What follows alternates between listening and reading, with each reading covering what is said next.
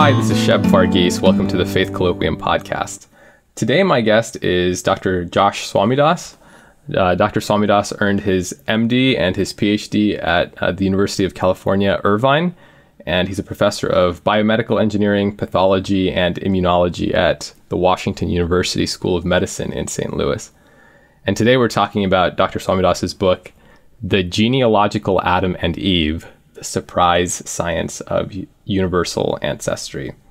Uh, Dr. Swamidass, thank you for talking with me. Yeah, thanks for having me. It's great to great to talk to you. Of course.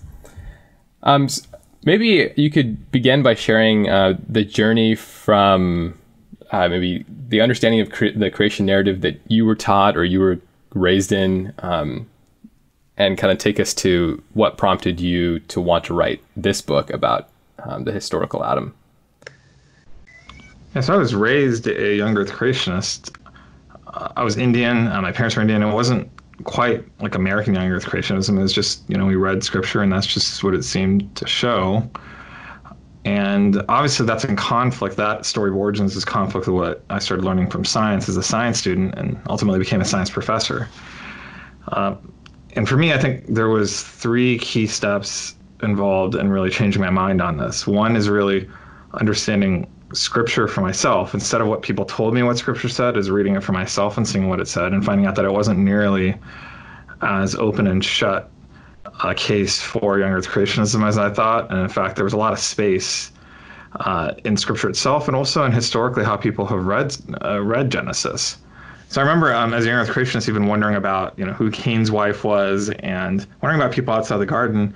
Uh, uh when I read the chapters in like you know Genesis chapter six where it talks about Nephilim and all that. Yeah. So you know, and, you know, as I got older, older, I realized too that like, you know, Scripture doesn't actually teach that everything was made out of nothing, and it says that the land and the sea made the uh, made you know plants and animals in response to God's call, but it was the land and the sea doing it. So that that that, that sounds you know even with a very literal interpretation quite a bit like like evolution. Hmm. Now, so part of it was realizing, you know, that that's that's you know that, that a lot of the conflicts there were, were really not about what Scripture said; it's about what men said about Scripture. Mm. And so, so, if I let go of a man's word and take a hold of God's word, it really isn't much of a problem. That's one piece of it. Um, the second piece of it is uh, really seeing the science for myself. And so, you know, one of the privileges of being actually you know a science student and then becoming professors, I didn't have to take other people's words for it. I, I got to see it myself.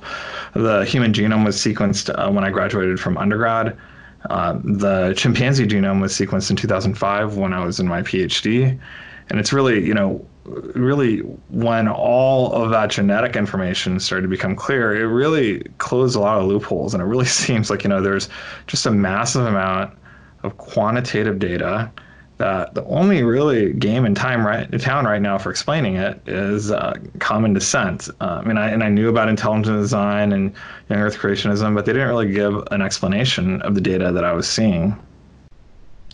So those were those two things, but it still wasn't enough because uh, I think that the third piece really was, you know, this question about where my loyalties were, and I really had been raised in a very anti-evolutionist sort of way, mm. and uh, and it was really threatening to lay down that anti-evolutionism. Uh, mm. and in some ways, um, whether explicitly or not, the way how I felt I built confidence in my faith was by showing that evolution was false. That's how I knew that it was worth being a Christian. But the thing about it is that that's really bad theology. And frankly, that's a type of idolatry if you want to get down to it, because mm. there's only one cornerstone, and it's not anti evolutionism, it's not rejection of evolution. The cornerstone of our faith is not what man does to reveal God through arguments from science, but what God did in history to reveal himself to us by raising this man, Jesus, from the dead. Mm. And when I really returned to Jesus as the cornerstone, you know, it, you know, I was able to lay down my anti-evolution idols and follow him. Hmm. Hmm. Um, and then you wrote this book. Uh, so, uh, can you share a little bit about like why uh, you chose to write this book about the historical Adam, which is takes a kind of unusual um, hypothesis, I suppose. Yeah, well, you know, I told you like one of the first things was really working out where scripture stood with it. And, and one thing that really puzzled me over the years is how everyone was so convinced that there was a conflict between evolutionary science and uh, the story of Adam and Eve. Hmm. And, you know, I looked all over, I couldn't find that clear evidence. Hmm. And the more and more I studied it, the more and more, uh, you know, potential contradictions and, and, and problems really just started to evaporate. And I was just really surprised to see, uh, you know, even you know several scientists, obviously atheists, but also Christian scientists, really you know pressing this idea that that evolution uh, really overturns a traditional uh, understanding of Genesis with traditional yeah. theology. And you know, it would be fine if that was true. If that was really true, what the evidence showed, or what science seemed to say. I, I, mean, I think that we need to let science have autonomy. I mean, it's not the whole story, but let it be. But that's yeah. not even what it says. And yeah. so I, I, was really concerned about that. And I was really concerned that even when some people found out that what they were saying wasn't actually true, they still kept on saying it. Yeah. So um, it's really because of that I really felt honestly forced into a situation where I really had to write this book. Hmm. hmm. Yeah, there are people who I know, um, Christians who I know, who have argued very confidently that you know, oh, now we know there wasn't a historical Adam based upon evolution and and DNA and you know work done by BioLogos folks and things like that, um, which I always found sort of underwhelming or overly ambitious, um, and just thought, even even granting all of that, how does that how does that necessarily rule out a historical Adam again. That was exactly the that, that was exactly the point. So the key thing here is that what I'm doing is not actually apologetics in the sense that I'm actually not defending a view. This is actually mm-hmm. a, like a scientific contribution. I'm not saying that Adam and Eve really existed. I'm just saying that this claim, yeah, science shows that they did not, is totally overblown. Yeah, and in fact, it's not even good science. Mm. And um, you know, it's uh, it's notable that atheists have really endorsed the legitimacy of the science in this book. And it's also notable that you know you mentioned BioLogos. They've very recently started a process of acknowledging that they really had the science wrong. Okay. They they had they have quite a bit that they got wrong. Um, they have a lot more to, uh, to, to to clarify. But in January, and then also um, you know last or earlier this month actually they they published articles acknowledging they'd really you know made some mistakes here. Hmm. It's good that that they're starting to clarify that. I think, like I said, there's a long way to go, but they wouldn't do that if it was uh, if it wasn't good science. Hmm. Yeah. Yeah. Um, so a few years ago, Dennis Venema, I think that's how you pronounce his name, um, and Scot McKnight, they wrote this book that got some a fair amount of attention about the historical Adam, and is, essentially was arguing, look, there's no way that all the humans on the planet today could trace their ancestry back to a single pair, um, and that that book seemed to really shoot the idea of historical Adam uh, down. Uh, but you feel like there's something wrong with that argument. Oh, it's beyond wrong. I mean, like his book. So that book is, is into two into two sections. It's really interesting that the subtitle is "Reading Scripture After Science." Hmm. That's extremely disturbing. That's not how you're supposed to read Scripture. Hmm. Um, and the book is set up so the very first half of the book is science, um, and then and then there's a theology that basically kind of takes the science as granted and goes from there. And you know, there's no dialogue in that book really. It's really, you know, the scientist speaks and the theologian, you know, adjusts. It's mm. disturbing if mm. that's really what it's supposed to be. Especially because what uh, Dennis wrote about Adam and Eve wasn't even good science. Hmm. It's if you look at his arguments against science, every single one of them uh, just isn't. It's just not true. And so that that that's that's the concerning part about it. Um, so when there isn't an actual dialogue, you know, uh, he, you know, stuff that's you know, you know, approaching pseudoscience can really just be you know accepted. I, I think it passed off as mainstream science because it, it probably satisfied and and um, was aligned with a lot of the prejudices that people have. Yeah. Um, you know, against literalism or young creationism. I'm not even saying that literalism is the right way to read scripture. I mean, I'm just saying that science doesn't tell us. Even if Yeah. you take a literal view, science doesn't rule that out. So that's Yeah. not a valid reason to rule out a, a literal interpretation of Genesis. It's not. a- It's not a valid reason to to reject evolution either. I mean, it cuts both hmm. ways, right? Yeah, yeah. and so it, I think that's that's what's really unsettling about this book for a lot of people because it really does shift the lines of the debate. There's a large number of, of people who are well-meaning and thoughtful, um, you know, uh, you know, traditionalists who have rejected evolution because it was against what their honest understanding of Scripture was, and now I think that they have to revisit that. And, well, you know, really, is there something in conflict? Yeah. There's been a lot of people that have abandoned traditional theology as Christians, and and you know they probably made a lot of those revisions too soon. And Yeah. and um, and not only that, they a lot of them were really wielding you know this wedge of evolution around, and and and I think and I think it's going to be a little bit humbling to realize that you know as like the defenders of science, maybe they didn't actually have the science right. Yeah. And you know, and I'll say too that you know there's also atheists that are part of the conversation too that you know they they've been convinced that that Genesis is all nonsense, but you know may, maybe it is. I'm, I'm I, I can't tell you that, but certainly Mhm. not for the reasons that they've given, Right. Yeah. And that matters. So I think I think it really undoes a lot of settled points of view that really have to be reworked now. Yeah. Yeah, that's helpful. Um, so in, in your book, you make this distinction between genetic ancestry and genealogical ancestry. Could you kind of flesh out the differences between those two? Yeah, so the first uh, way, well, so the thing about it is when we talk about genetic and genealogical ancestry, in our modern context, uh, in the genetic age, we're just conditioned to think that they're the same thing. Hmm. But they're different. Um, this is the, the fundamental scientific error at play. So it turns out that um, that genetics is about DNA, but DNA we only discovered like you know less than 100 years ago, really. Yeah. Um, and Scripture doesn't talk about DNA. Period. Yeah. It, it just doesn't talk about DNA. Yeah. So, and like historical comp- contemplation, even when it uses the word genetic, that's kind of like a transliteration of like Latin words and things like that. It's not actually meaning DNA, right? Right. Right. And that's fundamentally important. When it talks about inheritance, it's not talking about genetic inheritance. Right. and like, I mean, these seem like very obvious statements, yet um, even just like, you know, um, a year ago, or even now, I would say a lot of people are not clearly keeping things these things separate. And um, you know the way it plays out, it becomes very important scientifically. So if you think about yourself, you have parents and you have grandparents and great grandparents. All of them are your genealogical ancestors 100%. And it's like this increasing number going back in time.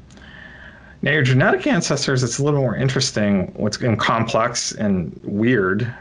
Um, you would never guess that this is the way it works. Um, you know, uh, from you know, like an ancient understanding of biology. But it turns out that your parents are only 50% your genetic ancestors. Your grandparents are only 25, and it goes down. And just just about like 15 generations back, 300 years, just 300 years back, it turns out the majority of your ancestors don't actually give you any DNA. Mhm. And that's So surprising. So I get 50% of my DNA from my mom, 50% of my DNA from my dad, and then like and 25 from my grandparents. Is that Yeah, Is that yeah. right? And then Yeah. Okay. One, then one eighth, one sixteenth, okay? thirty second. Okay. Then it very, it's like exponentially decaying, but very quickly gets to the point that a couple people, will, well, not a couple, a few people will give you DNA of your ancestors. A few of your ancestors will give you DNA about 300 years back, um, but the majority of them don't. Okay. And then if you go back 1,000, 2,000, 6,000 years ago, the vast majority of your ancestors are genetic ghosts that don't have Huh. any DNA. And uh, so that means that Adam and Eve, uh, if you work this out, and this has also been known, I would say, since at least 2004. Uh, so it's been for a while, actually, we've known this. And I get into some of the history here, too. But uh, if you go back that far, you know, it turns out the vast majority of, of your ancestors don't give you any DNA, but also there's a lot of people out there um, 6,000 years ago from whom we all descend. Hmm. and it's they're not confined to just to one location like Africa. They, they're across the globe, including the Middle East. Okay. And so, if you kind of turn it around and look at it from the scriptural narrative point of view, um, you know, all that stuff that I was wondering about as a young Earth creationist, not because of evolution, but just because of Scripture, and also, you know, you can see that speculation going back 2,000 years in you know the Genesis tradition of just wondering about people outside the garden. Uh huh. And that's the only way then that you know that evolution presses on traditional theology by saying, you know, there was something that we wondered about and was a mystery in the past, but now yeah. we have really good evidence that there were people outside. Yeah. Not who scripture was talking about. So they're about as relevant as intelligent aliens if we ever found them on another planet to mm. as a threat to theology. But there's a whole bunch of really interesting questions that arise in theology to engage. Yeah. And that's where we should be having our fun engaging. Yeah. So I I think um, tell me if this is fair that this is where you've gotten some pushback, um, like regarding this group of, of people, if, if, that's the right term, this group of people who are sort of outside of the garden who aren't descended from Adam and Eve. Um, well, I got pushback from all over the place. what's going on here is that there's like yeah. entrenched positions. Yeah, people are talking to one another. Uh huh and I'm in the no man's land trenches, and yeah. you know, so people think you're a threat, and yeah, so yeah. And, yeah. and it's been interesting actually that most of the critique hasn't actually been based on stuff that is actually true to what I've written. Okay, it's been entertaining to see that play out. um, do you think? Do you think that that concern is is um, warranted, or what? What do you make of that? The, the one about warranted if you look at how it's written. So, in a great example, as a friend of mine, Hans Madueme, who wrote the, yeah. uh, wrote a review in the Gospel Coalition. Yeah. And if you'll see, he's really inconsistent in his use of the word human. And you'll notice too that I didn't say humans outside the garden. hmm. Now, you know, Hans is a young Earth creationist. I, mean, I like him. He has a narrative in his head that you know the way how it works, he even writes it down in that article, is that, you know, well, you know, science makes its demands and then theology just has to capitulate to it. Well, that's all great for that narrative. That's probably true in the past, but that's exactly the opposite of what's happening here. It's really because uh, I took questions from theology seriously that there was a big pushback on the science. Hmm. And um, and so it's really strange to see uh, that as a valid critique. I mean, I, I, can't accept that as valid critique. Hmm. Um, and then also, you know, it's it's interesting too. He criticized. He says he said his strongest criticism. He said his most weighty criticism is that um, that uh, I'm not using the traditional definition of human of Adam and Eve and their descendants, which is incredibly ironic because that's precisely, like literally, almost word for word, the definition of human that I put forward in the book. Hmm. And so actually he's arguing for the view I put. What he's struggling with is the idea of people outside the garden, and he doesn't have a category for it yet. And that's a struggle he's working through, and he has to work through because there isn't good textual basis for rejecting rational souls or people that, that look like us outside the garden. There, mm. It just isn't there. And scripture just doesn't talk about them. And so they're just a different category that he hasn't thought about. They're not less human than us. They're not subhuman. I'm not calling them beasts. They have rational minds. God could and I would say does care about them. Okay. It's just not the topic of scripture. The way how scripture defines humans is Adam and Eve and their descendants, which includes all of us across the globe, to be clear. Uh-huh. And the reason why it doesn't mention these people outside the garden but has hints is because, you know, they probably existed but you know scripture wasn't given to them. It was given to us. They don't really exist anymore. They're our ancestors in the distant past but all of us now are descendants of adam and eve. Okay. So you know he can you know of course he can object to that but certainly not on the grounds he's raised. Okay. Okay. So um, he can't object to the fact that there's humans outside the garden when i have actually shown him that there doesn't have to be humans outside the garden. Okay he can't object to this because I haven't adopted the traditional definition of human when I actually have. Like that's not coherent. Okay. Um, so if I'm understanding correctly, so um, you would argue that these uh, people who are not human, who are outside of the garden, those folks could have uh, shown up through the the I guess, normal processes of evolution. But Adam and Eve could have been like the special, Special creation, creation. of God. Is that right? Yeah, I think the language here is important because it can create confusion, right? So I say people outside the garden for a reason. Um, I don't call them human, but I think in, by in many ways they would be. Like if you saw them today, they would they'd be biologically human. Okay. They'd be reproductively compatible with us. They should have human rights and dignity. Okay. They're not animals. They're not beasts. Okay. They, they're not soulless necessarily, and I certainly don't think they're soulless. Okay. They're they're they're they're people. Uh, They're just not the people to whom Scripture refers. So what I'd say is that in a technical sense, when we're talking about human as how Scripture and traditional theology have defined it in the past, that's the humans that are the Adam and Eve and their descendants. And part of it is going to also relate to what actually is it that God was doing with Adam and Eve when He created them. So I think when you look at Genesis, I think what you see is that God creates a world that's good, but it's not perfect. In Genesis 1. And then as as part of a move to make things perfect, God kind of creates an opportunity for a death-free existence by making this perfect garden with the tree of life. Outside the garden, garden we find out in Genesis 3, it has death outside. That's the hmm. literal teaching of Genesis. I mean, if you if you reject that, you're rejecting what Scripture teaches in Genesis 3 that there was death outside the garden. The garden was a defined place that had borders. It was because they had access to the tree of life that they were free of death. But so I think that starts to give us a really clue of what's going on is that maybe God made people across the globe and it was good, but God wanted to make it better uh, by giving them a death free, morally perfect existence, an opportunity for that. But that's precisely where Adam fails, right? And where Adam fails is where Jesus succeeds. So when you have that narrative in the background, right? And, and, and to be clear, I mean, I'm drawing on, you know, theologians from all, uh, you know, I mean, conservative theologians who have, actually worked out a lot of these pieces long before I even entered the scene, too, right? Yeah. Um, I don't know if you're familiar with Seth Postell and, and John Sailhamer Yeah. hmm and all of that, um, all of that stuff about how Genesis is working in the Pentateuch and the, and the compositional view that they take. Yeah. That's a really strong view, right? And then, you know, the idea that how Adam is an architect of Israel, right? Yeah. Yeah. Right. And so um, now some people will take that too far, I think, to say that because he's an archetype of Israel, that means he doesn't exist. That's Yeah. that doesn't that doesn't follow. People can be Yeah. archetypes and be real at the same time, right? Right. Right. Right. And so there's like a logical flaw there of like, Right. an excluded, I mean, like a false dilemma, right? Right. Right. So I'm not going that far, and neither did Seth Postell or John Sailhamer. I mean, you could also talk to uh, look at Greg Beale uh, too. Uh, he talks about this too, um, and really seeing that you know that God creates the entire world, but in the same way how um, you know Israel was a chosen were, were his chosen people, and he dwelt. I mean, he's omnipresent. He's present everywhere, but he was in a special way in the temple and the most holy of holies, right?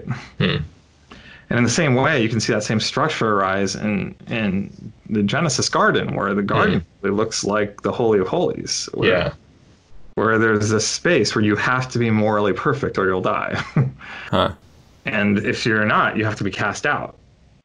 And uh, and and so Adam and Eve, they're really exiled, and in their exile, we're all we all lose our chance to to live in the death-free garden too.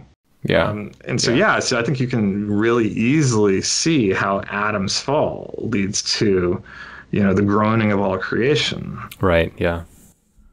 Um, but that doesn't mean that there wasn't death. I mean, this also is a, a really interesting point too. So one objection that some people raise is is the problem of death outside the garden before the fall. Now, it's important to understand historically how that arises.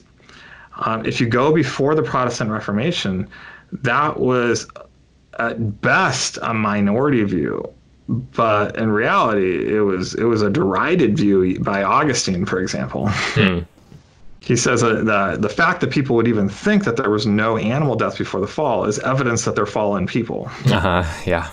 And it's, it's interesting that the way it was rev- revived, young earth creationism with the no death before the fall view, actually arises up at the same time evolution does. In a rump movement, uh, Seventh day Adventists in flood geology, So yeah, um, most people would have thought historically that the Earth was young because they had no reason to think differently. Yeah. But when there seemed to be clear evidence against that, the vast majority of Christians just said, "Oh, okay, maybe we thought that in the past, but it's just not a big deal," and they moved on to thinking about an old Earth. Uh-huh. And there were a bunch of flood geologists that decided to really stake their claim there. Now, there's a couple things that they did where they deviated in a very big from a big way from majority Christianity. One is they had their own text from Mary Eddy Baker. Um, second is they stopped celebrating church on Sunday and moved it to Saturday. Mm-hmm. That's part of the reason why the six days become really critically important to them. Mm-hmm. And then also they became vegetarians because they were at least they were consistent to Mm-hmm. said you know if we're going to take literally this idea that god's good perfect creation means that there was no death before the fall you know if we're going to be christians looking forward to that yeah god temporarily allowed eating animals in, in Genesis in the same way how Moses allowed, you know, divorce. You know, a good world wouldn't have animal death, and so they start to live. You know, I mean, you're Indian, right? They start to live a bit like you know, you know those Indians that will like you know not eat meat, right? Yeah. Uh-huh. Yeah. Now, I'll give them credit for being consistent, right? Yeah. But so that was a very rump movement for about 100 years. And it's only really in 1960 with the publication uh, of the Genesis flood um, by Henry Morris and Whitcomb, where um, and then they drew strongly on uh, Seventh Day Adventists. That's Okay. actually how um, you know the scientific version of YEC. And to be clear, like you know, there's a lot of young Earth creationists in India where we're from, but they're Yeah. not scientific YECs, right? Right. Right. Uh-huh. and it's not it's not as charged for them. And often they're not even anti-evolution. It's just that's kind of where they read scripture and what they came to, right? Right. Yeah. They're not contemplated. In contrast, what's going on in the 1960s is that it's a very like it's a very honed, scientifically oriented, Yeah. evolutionist oriented, and also putting it as a foundation of the faith oriented Right. um, version of YEC, which is a complete complete departure from Christian tradition. Yeah. And so, so that's the tradition basically out of which people say we cannot tolerate death outside the garden for animals. And that is remarkable because that is actually directly in, con- in contradiction with a literal reading of Genesis. Hmm. And so, if you're going to take that view because you're a part of that tradition, that's great. But let's just not pretend that that's a literal reading of Genesis. That Right. That's a departure from a literal reading. Let's also let's not pretend that that's a traditional reading of the church, capital C, Right. which historically has rejected that view. Yeah. Yeah. I'm not saying it's heresy, but to claim that that's a traditional view is just not tenable. Yeah. That's that, that's Yeah. absurd. So, uh, like if you go to Answers in Genesis and talk and see Ken Ham, they they're fundamentalists. They're not Seventh Day Adventists, right? Sure. So they kind of took the parts of Seventh Day Adventism that they liked, like the emphasis on the six days, but they didn't like the moving to Saturday thing. Right. They liked the polemic against evolution, the no death outside the garden. So they took that, but they didn't like the vegetarianism thing, so they dropped that. Okay. Yeah. And what's really motivating it is is opposition to evolution, and all Yeah. of that would be valid if there really was a contradiction with Scripture, yeah. but there isn't. So Yeah. what exactly is all that for? Yeah. Yeah. Um, right now, uh, as I understand, you're working on a project with William Lane Craig. Could you share, if you can, can you share a little bit about um, what that project is going to be about and how that's coming along? Yeah, so we're in the middle of writing that. My ambitious goal is to be able to submit my draft, submit my draft by the end of summer. We'll see how it goes. We got a lot of work to do still for it. Okay. I've been uh, really enjoying talking to to Bill. Um, he really wants to model this off of Dennis Venema and Scot McKnight's book, but and but to do it right. Okay. so instead of science in the beginning, it's really going to be a dialogue between science and theology, with you know his reading from Scripture coming first. Got it. Okay. And I'll be writing the science. He kind of gave me a free hand to do that. Okay. and he takes a different view. Um, remember, I told you that you know I'm I'm just explaining that you know you know I, I, I kind of explore a literal reading in Genesis, but I say you know you can still reject a, you know a literal reading. I'm fine with that. I'm not trying Yeah. to tell you it's the right way. I'm I'm not an exegete. That you have to go Right. talk to experts to figure out that. And frankly, you guys all disagree with each other. Yeah. That's fine. Uh, what I'm trying to be is a servant to the church. So Yeah. Bill takes a nearly mythological view of Genesis. um, he thinks that Adam and Eve are real, but he doesn't think any of the details there should be read as anything other than myth. Uh huh. And he thinks that you know by God's divine inspiration, the early um, you know writers of Scripture um, were correct in saying that Adam and Eve were real, and uh, Adam and Eve though were like maybe five hundred thousand years ago or so. Uh huh. Yeah. Like long before the origin of Homo sapiens. Yeah. And you know, uh, that's really you know resonates a lot with like the traditions in the Catholic Church, and um, and it's not the same as, but it connects to some ideas that, for example, reasons to believe and other old Earth creationists care about too. Yeah. And it, it's not necessarily my tradition, but you know, I'm I'm a I'm a scientist here, really in service of the church, and I think that there's also been a lot of things that have been said that are falsely wrong about that view too. Uh-huh. And so I'm, I'm really, you know, trying to kind of clarify what is it really that the evidence demands of us. And I think what we found is that this is just a place where there's been a lot of really, um, you know, really bad science put forward as good science and accepted as good science when it really wasn't. Um, you know, and so there's going to be an opportunity to clarify that. I think uh, my book, The Genealogical Adam and Eve, really has uh, turned the conversation upside down. But I would emphasize that that is only part of the story. Yeah. This other book, I think, will do the same. Okay. Yeah, well, that's exciting. Um, do you have any thoughts about like where where you think this conversation will be in maybe 10, 15 years, or where this is going? You know, it's hard to tell. Um, Yeah. I think that um, my I can tell you what I would like it to go to. Yeah, sure. I, I I I hope that all the current camps are unsettled and they have to rework who they are and why, yeah. and that they kind of come to a place where instead of being entrenched, that they're in better dialogue with one another, Yeah.